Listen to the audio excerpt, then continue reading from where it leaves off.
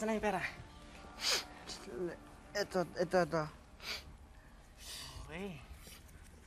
Ito.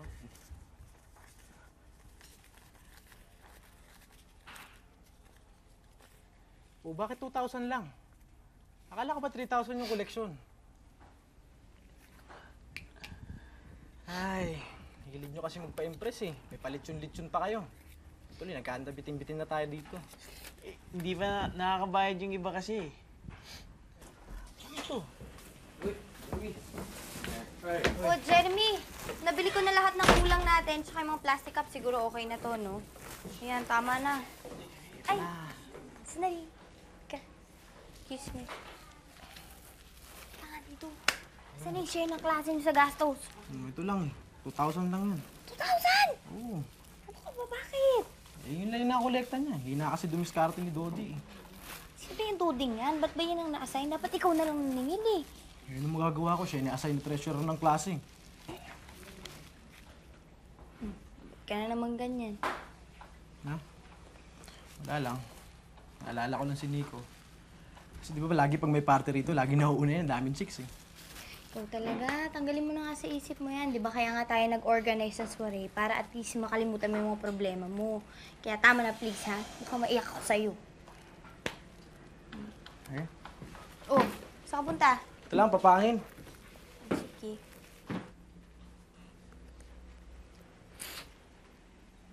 Hi, I'm Dodi. Ah, ikaw yung treasurer. Pa paano mo nalaman? Ah, sabi kasi sa akin ni Jeremy, sa'yo ako maningil. Ako nga pala si Ricky. Ah, ikaw yung kaibigan ni Jeremy na nakatira sa tapat nila? Oh, ako nga yun. Ako, daldal talaga ni Jeremy, no? Nakwento pa niya yun. Sige ha.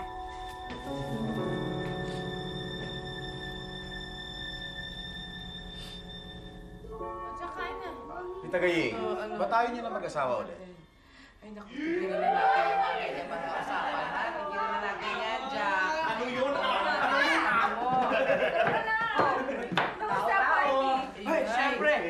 Si Ricky ang pinakamasaya sa lahat. Oo naman. Paano ba naman, yung mga dating ni Ricky, eh, binabantayan na si Dodi buong gabi. Ang lalaki. Alam mo, ang sama mo, hindi ah. Ang pinag-uusapan namin yung gastos ng party, yun lang. Eh, lang namang hindi ko kausapin yung tao, soiree yun, getting to know each other. Sabi mo sa amin, si Nasib Benji lang type mo eh. Isa ka ba, ha? Oh. Oo na, pinagtutulungan niyo ako, sobra kayo. Eh, naririnig ko nga kayo ni Ate Tessa nag-uusap tungkol kay Kuya Benji. Sumutirising kita. Alam mo, tumigil nga kayo na nanahimik yung kapatid ko sa Amerika. ha? Oo, tingnan niyo. Niloloko niyo Hindi eh. ako. Yun. Hindi ako ah. Pero alam mo, Ricky, Hmm. palagay ko eh, bagay na bagay kayo ni Dodi. You will make a beautiful fair. Talaga? Fair! Ano ba? Pati ba't hindi ko from? Tigilan niyo nga yung pamangkin ko, ha? Ah. Tigilan niyo yan. Tawa na!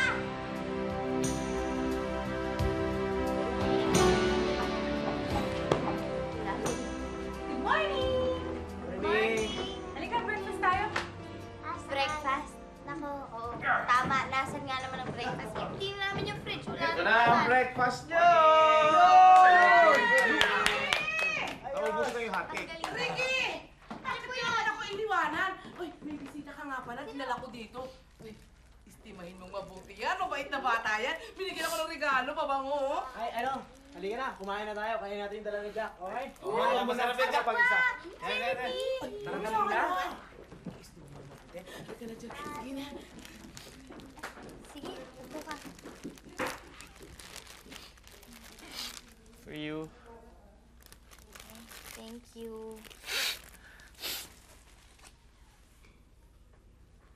And, Dodi, huwag ka sana magagalit, ah. Pero kasi prangka akong tao. Kung may bala ka manligaw, huwag mo na ituloy. Kasi, ba?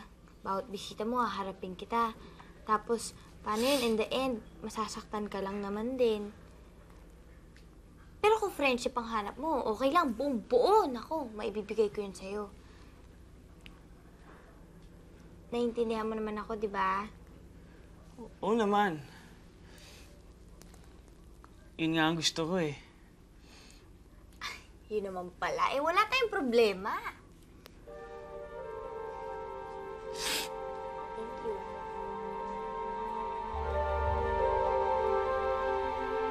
Kung may bala ka manligaw, huwag mo na ituloy. Kung may bala ka Kung may bala ka manligaw, huwag mo na ituloy. Huwag mo na ituloy. Huwag mo na ituloy.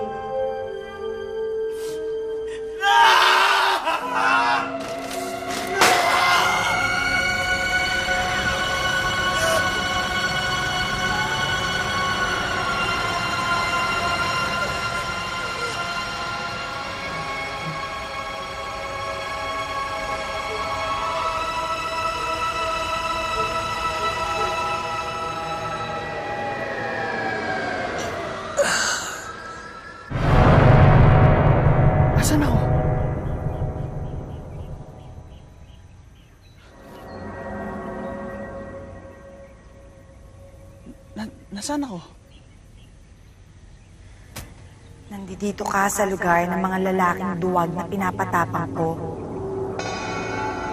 Pinapatapang. May problema ka na.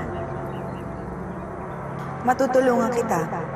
Gusto mo bang lagi kang kinakawawa? At lagi kang kinakatakutan ng mga babaeng nilalapitan mo at nagugustuhan mo? Walang puwang sa mundo ang lalaking duwag, Dodi. Paano mo nalaman ang pangalan ko? Paano mo nalaman lahat ng yan? Sino ka? Gusto mo bang sagutin ko ang lahat ng tanong mo o tutulungan kita? Pa- Paano mo ako matutulungan? Eto, isuot mo. Lahat ng kahinaan mo, mawawala. Lahat ng mga kinakatakutan mo, malalabanan mo. Humiling ka kahit ano, ibibigay sa'yo. Ano to? Lalaking duwag. Gusto mo bang pagsamantalahan ang kahinaan ng mga babae o hindi? Gusto. Isuot mo yan. Isukat mo. Bagay sa'yo yan. Lalaking duwag.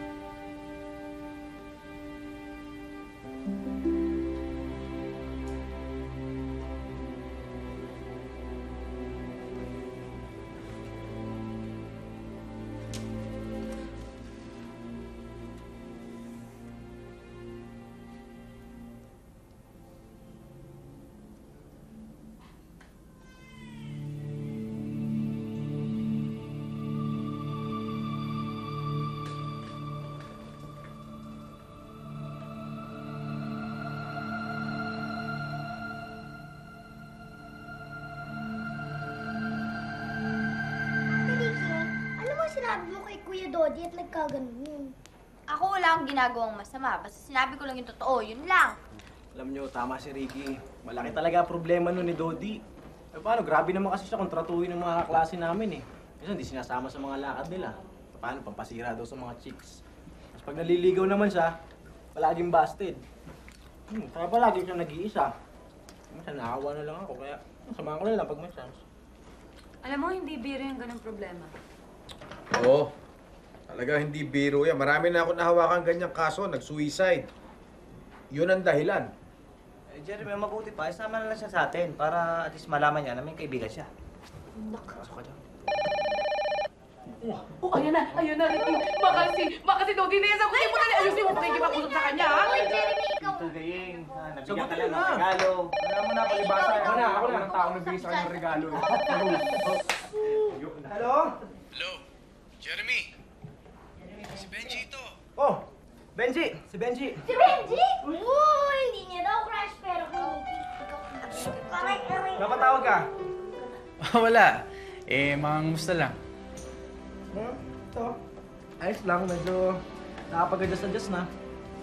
Medyo natatanggap na rin namin na wala na si Nico. Ah, oo nga pala, no? Pasensya na, pinsan, ha? Hindi kasi ako nakauwi ng libing ni Nico, eh. Wala yun, okay lang. Naintindihan ka naman namin eh. Siya nga pala, may good news ako sa inyo. Diyos, ano good news mo? Baka magbakasyon ako dyan. Uwi ako sa Wednesday. Uuwi ka sa Wednesday? Uuwi ka sa Wednesday! Uwi! Ano? Kasama mo, Mami? Ah, hindi pa sigurado, ate. Kasi hindi nakakuha ng leave si Daddy. Buti naman makakauwi ka, Benji. Ah, Rora, ah, pakisabi, ano, ah, rubber shoes, size 8 and a half. Ano? si Jack, size 8 and a half. At saka pantalon, size 31. Pantalon daw, size Ah, 38. Benji, yung ka lang. 31 na. Teka, teka, hi mo. Hi daw, galing kay Ricky. Oh, chocolate, chocolate! Chocolate, chocolate! Chocolate Chocolate! chocolate. Tsaka yung shampoo kulay green. Yung shampoo daw, kulay Ano green. ka ba, Jack? Ang tanda-tanda mo naman. Ate, na-miss mo ba ako? Oo naman.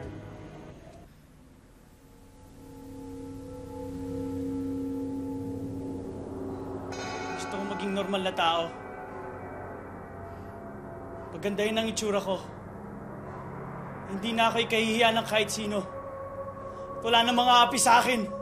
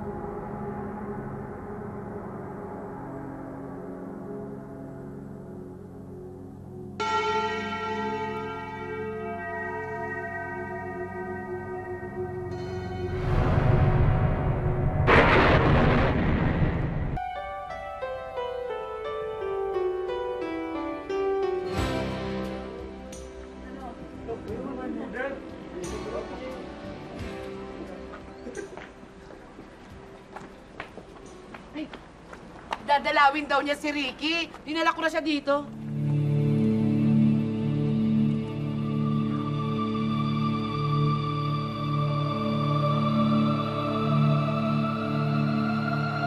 Hindi na makatingin sa akin.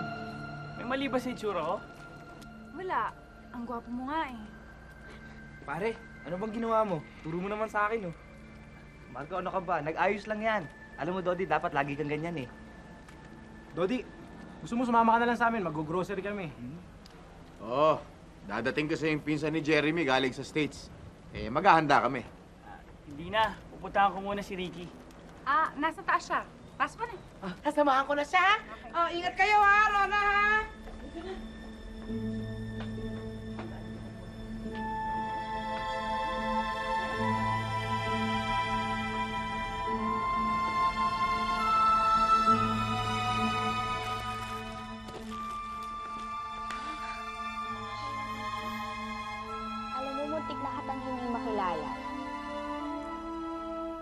Gusto mo ba yung bagong ayos ko? Susuo naman, no? Di ba ang sabi ko sa'yo, may tinatago kang kagupuhan. Kaya lang hindi mo lang pinapakita, hindi mo ginagamit. Talaga? Mm-mm. Ah, siya nga pala. Pwede ka pa mamaya manood ng sine o kaya kumain sa labas? Nako, kasi maglilinis kami ng kwarto ni Benji. Inaayos namin kasi dadating siya sa Wednesday. Si Benji. Yung ba yung pinsan ni Jeremy? Oo, yun nga yung picture ni boyfriend niya nga yun eh. Hindi ka titigil, ha? Hindi ka titigil. Muna ako sa kanya mamaya. May boyfriend ka na pala. Hindi, hindi yung sa boyfriend. Kaya lang dati pa nila ako tinutokso doon. Oo! Crush na crush nga yun eh. Tumigil ka na dyan. Totoo naman eh. Ay, nako! Tum- Ay, eh, totoo. bumalik ka na doon! Totoo yun eh. Sige, batang to. Ah, sige, tutuloy na ako para patapos yung ginagawa ninyo. Ay, salamat ulit doon sa mga dala mo, ha. Thank you. Ingat. Joy! Joy! Halika nga, bata ka dito, ha? Ikaw? Bakit naman si Dodi? Siguro hindi mo na naman inistima, no? Tagayig! Ano ka ba? Karakter. Mabaho ito, mabaho ito, pabaho Ikaw kasi mukha ka regalo, eh. Oh, Mukha ka regalo. ng tela, oh. Bagay na bagay sa akin. Ikaw, Oh, Ligpit yan, ligpit yan. Handa ka na sa akin.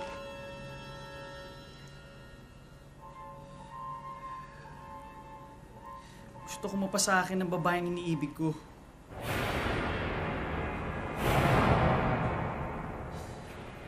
Ibigay mo sa akin ang puso niya.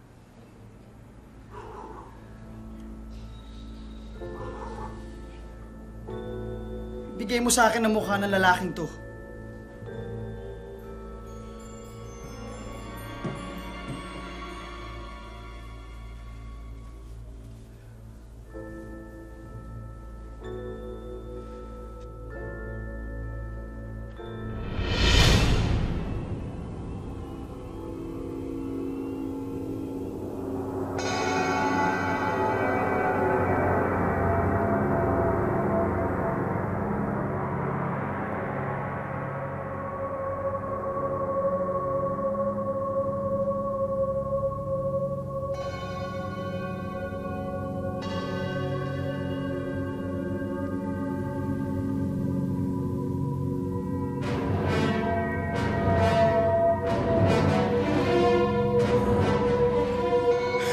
哈哈哈哈哈哈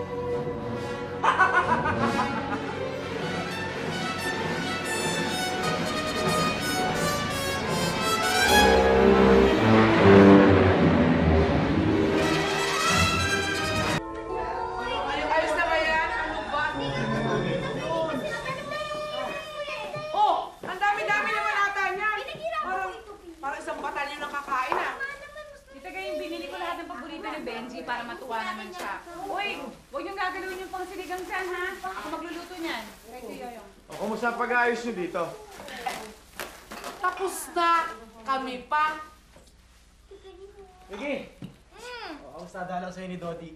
Ayun, pinaalis niya. Busy-busy kasi siya sa paghahanda ng pagdating ni Kuya Benji. Alam mo, maligaw na kang bata ka. Eh, Ay, nako. naman. Kusa siyang umalis at saka babalik na lang daw ka. Ano ba? Kailan daw? Totoo yun eh. Ewan ko. Nako, yun pa sigurado. Bukas agad ang balik nun. Bato.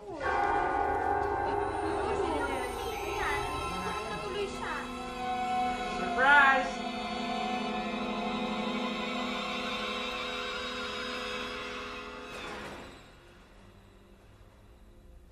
Benji! Benji! Hello, Wednesday. Ha? Hindi, talagang sinadya ko sabihin na sa Wednesday pa ako uwi. Para naman mas-surprise ako kayo. Surprise ka kami. Teka, saan yung maleta mo?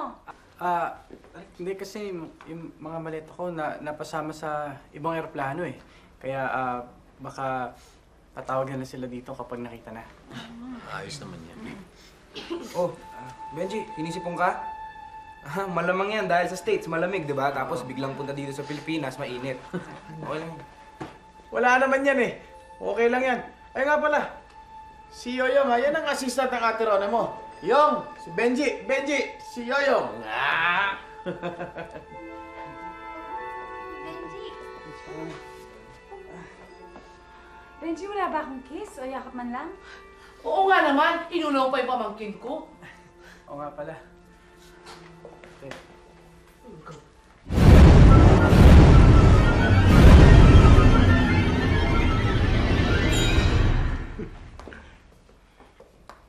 Na, bakit? Wala.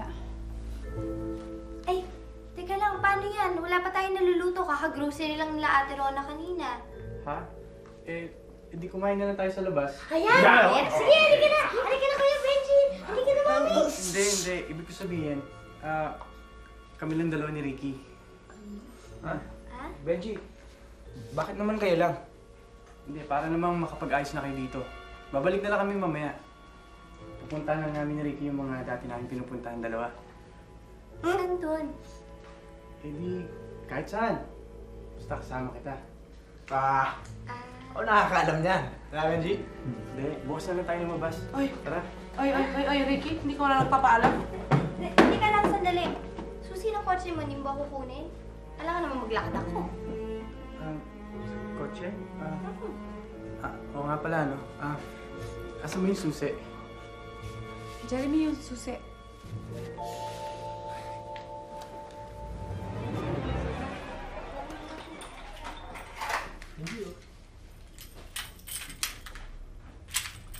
Salamat.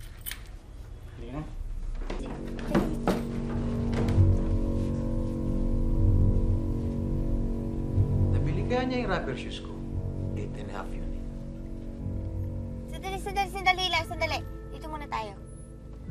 Bakit ba ayaw mo isama si na Jeremy? Huwag na. Storbo lang yun eh. Istorbo. Eh, siya nga tong barkada mo, di ba? At saka ba't hindi mo man lang sila kinamusta dun sa nangyari kay Nico? Ah. Oo nga, no? Eh, baka kasi siguro masyado lang akong naging excited sa pagkikita natin. Excited. Ako? Bakit? Basta, alam mo na yun.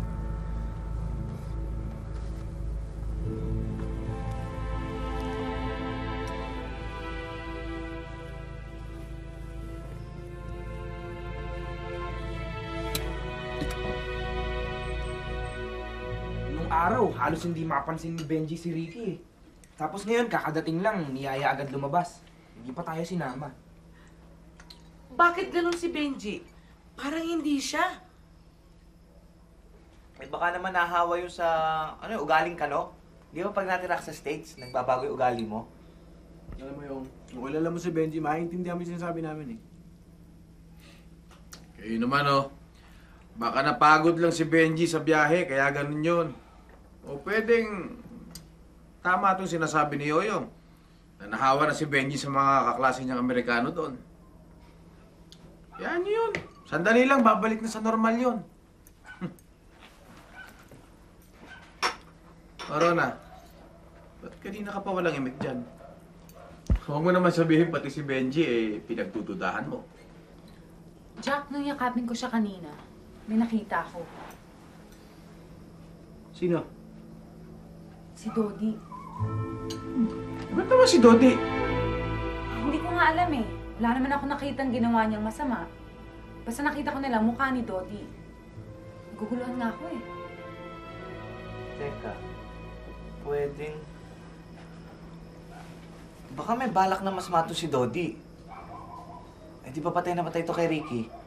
Tapos hindi pinapansin. Baka magkaroon siya ng pagkakataong makita yung dalawa, saktan niya si Benji. Yung gagawin ng kaibigan ko yan yung labo.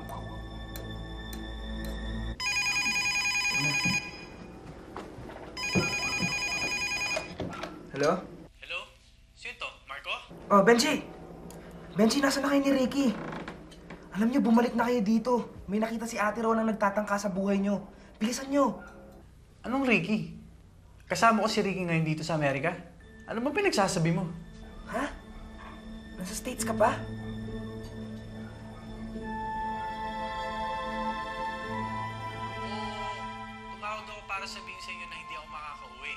Kasi nga na-move yung exams ko eh. Kailangan kasi matapos ko na ngayon to lahat. Eh mag-overlap yung schedule ko dun sa paggawa ko ng thesis. Bakit ba? Teka na. Ate Rona, si Benji. Hello?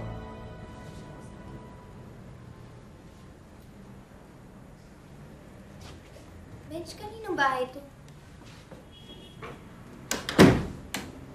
Ba't ganito ang kalat? Ano to?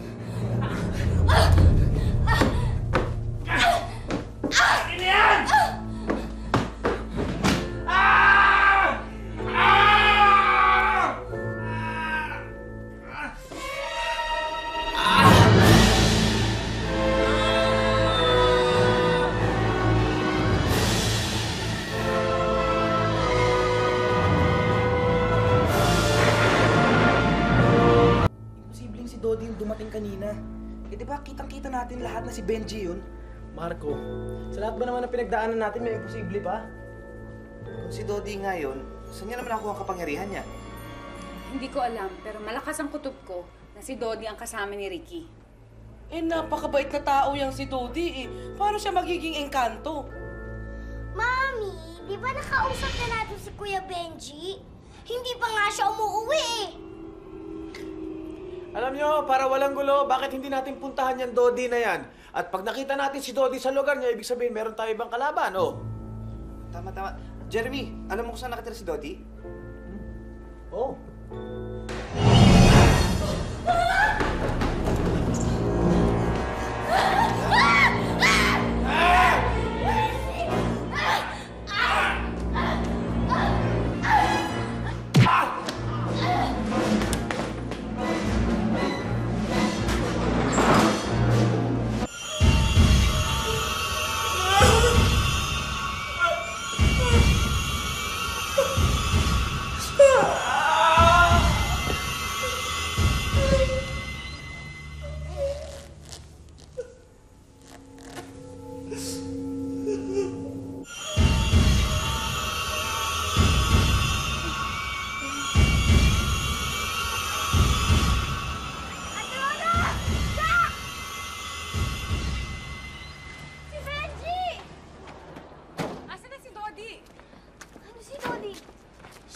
Dodi, iisa. Ano pinagsasabi niyo? Basta asa na siya? Ando sa loob. Ano nangyari sa akin? Balik mo ang dati kong mukha. Tulungan mo ko. Nasira na to. Tulungan? Kayo talagang mga lalaki. Kahit kailan, mga duwag. Kaya ang sarap niyong paglaruan. Gantihan. Gantihan? Akala ko matutulungan mo ako. Tapos na ang pagtulong ko sa'yo. Nandito ako para singilin ka. Singilin? Gusto kong idagdag ang ulo mo sa aking mga koleksyon.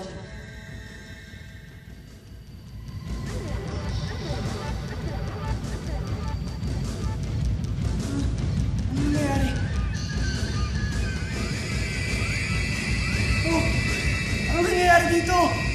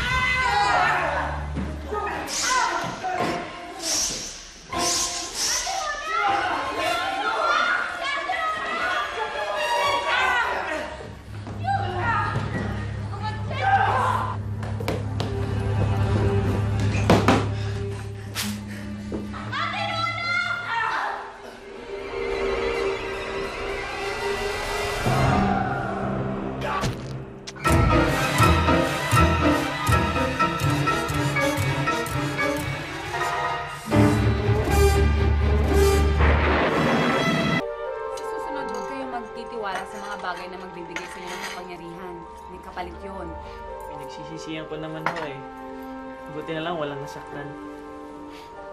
Dapat. Dahil kung hindi, ako, kalaboso ang bagsak mo. Ano, Dodi? Buo na ba talaga desisyon mo? Sa probinsya ka natitira? Oo. Kailangan ko magsimula ng bagong buhay. Kailangan ko magsimula ng, ng tama. Marami naman ako natutunan sa nangyari sa akin eh. Pakisabi na lang din kay Benji, pasensya na lang.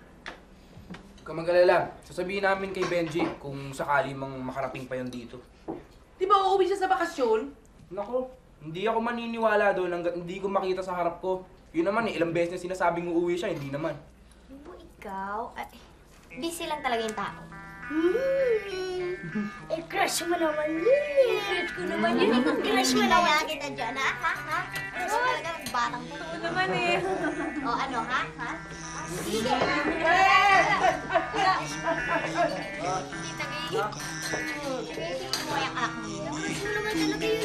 Ano mo, totoo naman yun eh. Gusto ko tumakbo palayo